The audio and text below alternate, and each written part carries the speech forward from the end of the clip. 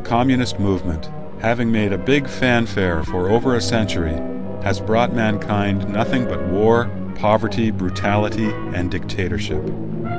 With the collapse of the Soviet Union and the Eastern European Communist parties, this disastrous and outrageous drama finally entered its last stage by the end of the last century.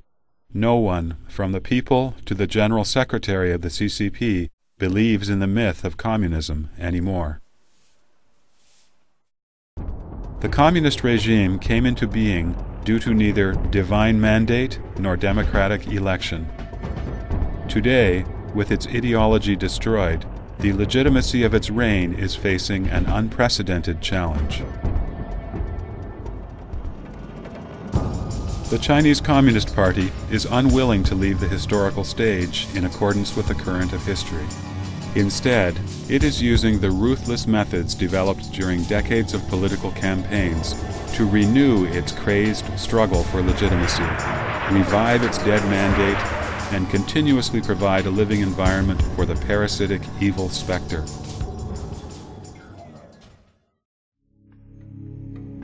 In this historical moment today, it is especially important for us to understand clearly why the CCP acts like a band of scoundrels and to expose its villainous nature, so that the Chinese nation can achieve lasting stability and peace. Enter an era free of the CCP as soon as possible and construct a future of renewed national splendor.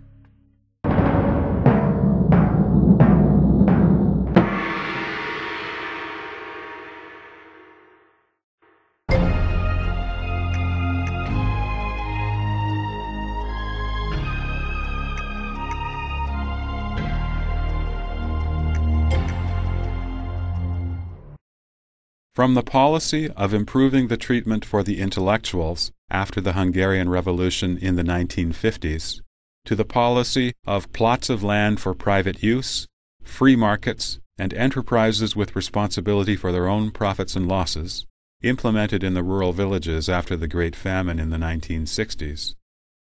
From the movement of ideological emancipation after the Great Cultural Revolution in the 1970s, to the deepening reform after the Tiananmen massacre in the 1980s. Throughout history, whenever the CCP encountered crises, it would demonstrate some traces of improvement, enticing people to develop illusions about the CCP. Without exception, though, the illusions were shattered time and time again. Today, the CCP has pursued short term benefits, and in doing so, has produced a show of economic prosperity that has once again persuaded the people to believe in fantasies about the CCP.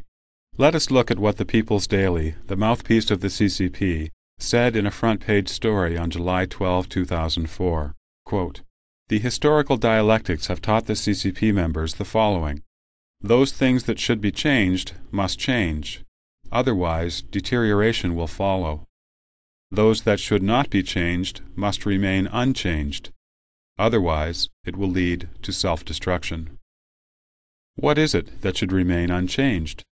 The People's Daily explains quote, The party's basic line of one center, two basic points must last solidly for 100 years without any vacillation. Unquote. Everything is clear. The communist evil specter's determination to maintain its collective interest and dictatorship never changes. The fundamental conflicts between the interest of the CCP and that of the nation and the people determine that this false prosperity will not last. The reform the CCP has promised has one purpose to maintain CCP rule. It is a lame reform, a change in surface but not in substance. Underneath the lopsided development lies a great social crisis. Once the crisis breaks out, the nation and the people will suffer once again.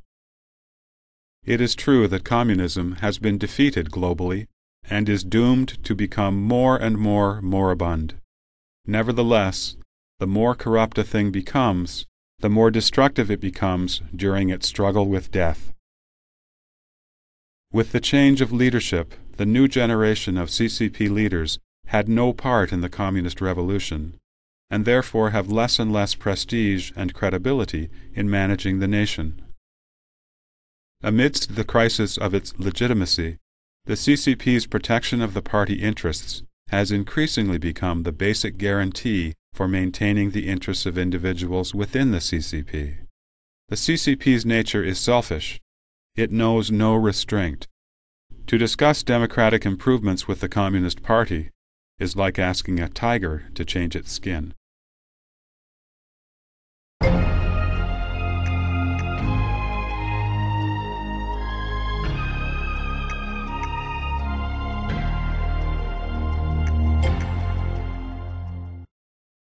During the conference of the Political Bureau of the CCP Central Committee after the Tiananmen massacre, Deng Xiaoping mentioned two hands, one soft and flexible, and the other hard and stern. This is an analogy for the Communist Party's two sided strategies.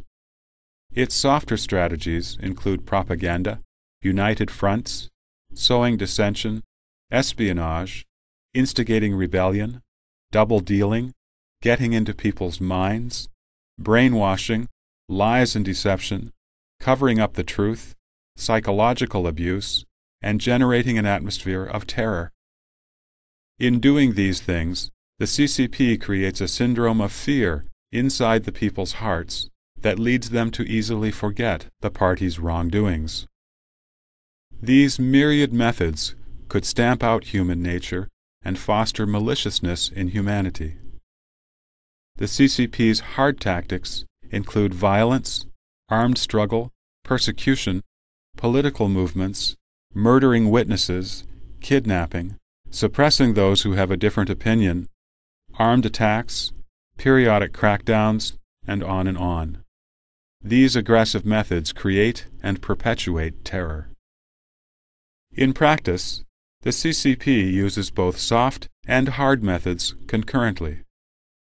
Sometimes they would be relaxed in some instances, while strict in others. Or they would be relaxed on the outside, while stiff in their internal affairs.